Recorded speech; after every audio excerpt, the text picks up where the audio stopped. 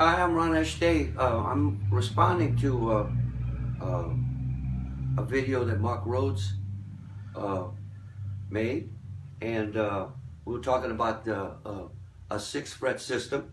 We were talking about, oh, by the way, I have seven strings on this guitar, so this is my, I'll be just working with the top six, so you'll have to put your glasses on like I do. anyway, um, what you have here is 2 through 6. What I'm looking at is basically 2 through 5 with the shift up to 6 or shift down down to 1 to play those five scales that he talked about. Uh, I have it here. C, F, B flat, E flat, and G. Or you could put A flat instead of G. Uh, but you can play all 12 keys in 6 frets. Now where I got this from is it's pretty simple. And when I was about 19 years old, my buddy Les Wise came over to the house with a Joe Pass record.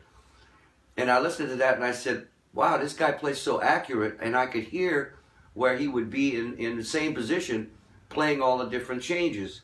Um, as, uh, as fate would have it, when I got to uh, L.A., I was about 22 years old. And I went saw Joe at, uh, at Dante's. And I was with Mundell Lowe, who was a friend of mine. And I call him my Uncle Mundy. Um, so Uncle Mundy set up a few lessons with me. And as it turned out, I happened to be right. I got it right. So if you watch Joe, um, you know, we, this is C. Um,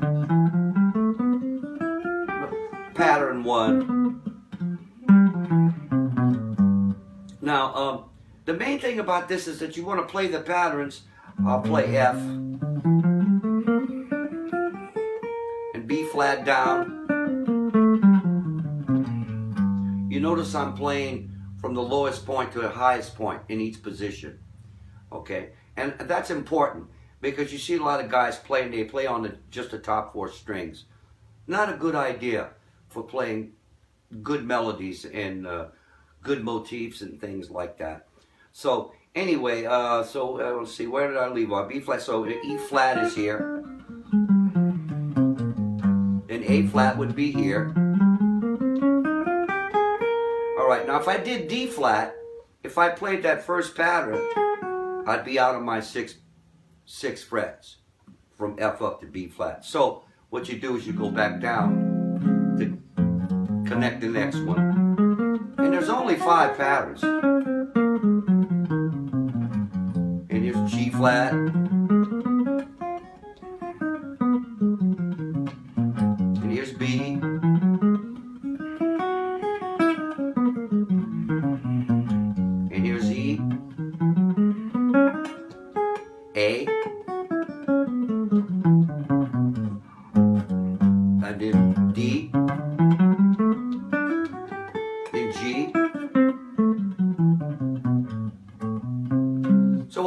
play through all 12 keys. Now, if you want to know what scale patterns I'm playing, I'm playing the ones with the little shifts like like Joe played. If Joe played a, a line, you know, even particularly if you watch him play solo guitar, you know, he'd play like a play like a sharp nine, sharp five chord, and he'd play a line right there. You know, whatever whatever the form was,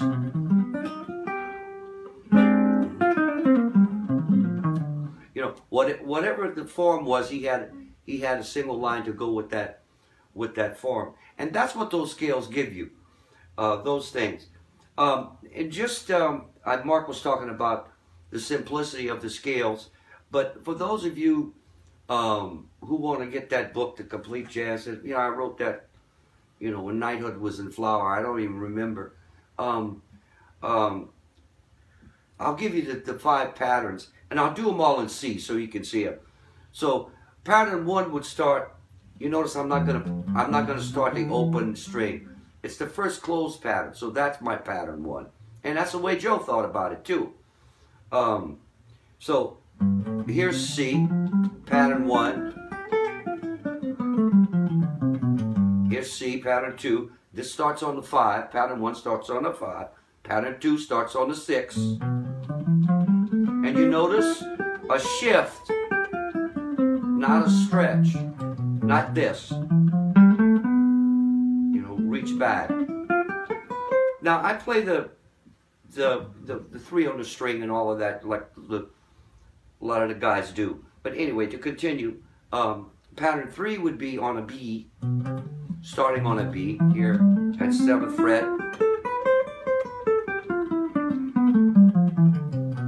And pattern four would be starting on the second or D. And then you notice again the shift here. And then pattern five would be that open string one, but closed because it's at the 12th fret. So basically what it's about, you can play all 12 keys within six frets. And this will work mostly also for harmonic and melodic minor and, and, and things like that too. It's, it, it's, it runs pretty close. Um, so I hope that managed to clear up some of the stuff that, uh, that, that he was talking about. And he said that book was uh, still available somewhere online. I know uh, let's see, I think it was Ernie Ball who originally did the book, and then another company took it over.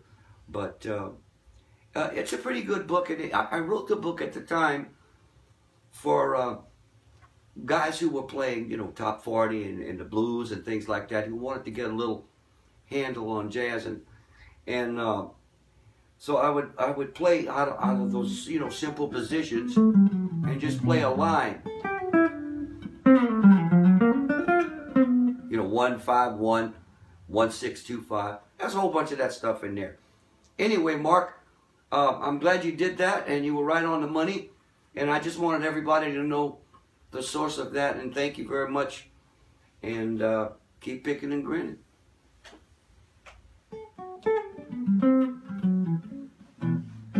And I got my uh, CB guitar here and my Evans amp and my pick. Turn the thing off, CB. And coffee and smokes. And coffee and smokes. I'm good. Thank you, Ron.